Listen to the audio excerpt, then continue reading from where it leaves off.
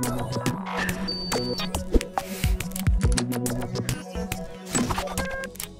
1 августа клиентские службы ПФР Москвы и Подмосковья переходят на новый график работы. Личный прием граждан будет вестись по понедельникам, вторникам и четвергам с 8 до 20 часов.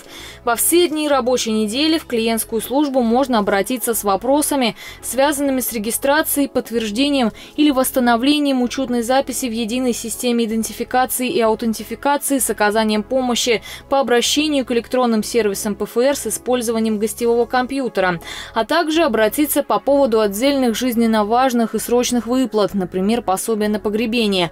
В любой рабочий день недели принимают граждан, выходящих на пенсию, для заблаговременных работ и помощи в подаче заявления в электронном виде.